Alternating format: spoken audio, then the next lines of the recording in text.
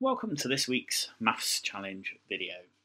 In this week's challenge we've got one task for you and it's based on this shape here. As you can see I've made this shape out of some cubes and what I want you to imagine is that I get this shape, I put it on a table and then I paint all of the parts of the cubes that are visible from around the table okay and on top of the table. So I paint all of the faces of the cubes that I can see.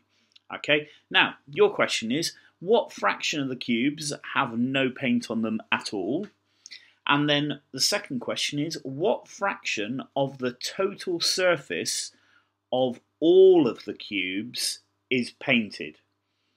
Okay, so two questions. What fraction of the cubes that make this shape up, shape up? I want you to imagine it's not hollow. I haven't missed any shaped cubes out.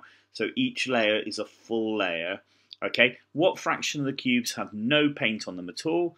And the second question, what fraction of the total surface of all of the cubes? So remember, just say that a cube has a, a, a surface area on each side of one, so the total surface area of one cube would be 6. If you do it that way, it's much easier than putting other numbers in.